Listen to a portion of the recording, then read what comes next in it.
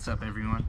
I bet you're probably wondering why I'm laying underneath my 95 Dodge Ram with a tape measure.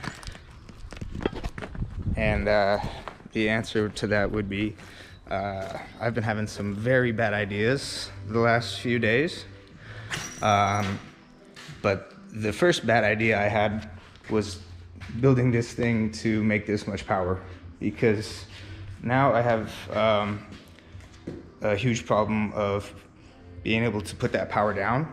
And this five speed transmission, as much as I want to use it, is not going to, it's just not going to cut it.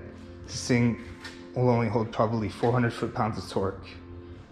So my 95 Cummins has a 47 RH transmission in it, which is nothing special in stock form.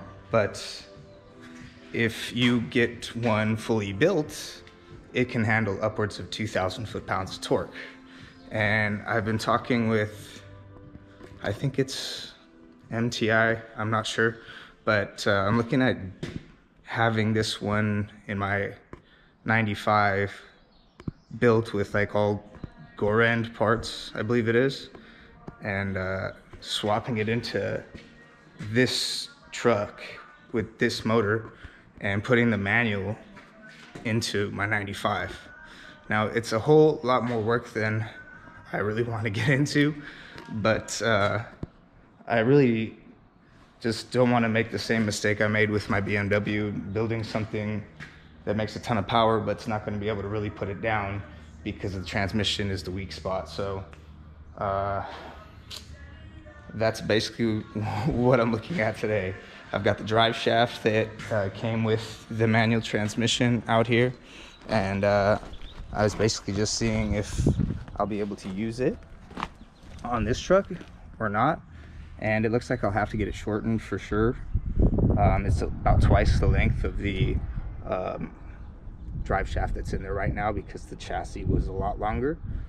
Um, but the good news is that the uh, mounting points for the transmission are only approximately an inch different and the manual transmission will still land on the transmission mount in that truck and vice versa in this truck. So that's the good news. Um, the bad news is the transmission is going to be like $6,000 but uh, I think it'll be worth it so it looks like that's the direction we're going to be going and um, I'm not gonna start pulling the transmission out right now or anything, but uh, it's just torturing me all day thinking of, of all these uh, plans and uh, not knowing whether or not it would uh, even be worth my while because uh, it's, it's a pretty big detour, but yeah, I, I, think I'm gonna go for it. I'll be honest, the uh, thought has been on my mind for a good while now. It's one of the reasons why I never took in the uh, manual drive shaft to get shortened to fit on this truck. Um, I, I, am starting to take the drive shaft apart now though, and I don't know, I know with BMWs, two-piece drive shafts are balanced as one piece, but I'm not sure with these if it matters. Um, if I take it apart, should I mark it and um, install it? Well, my issue is I'm gonna use the back half that's currently on the truck and get the front half shortened. So I don't know um, if that'll cause vibrations, um, but maybe one of you guys can clue me in on that. Anyways, this guy's probably gonna have to get shortened uh, two, two feet maybe. Um, I won't know for sure until I get the transmission in.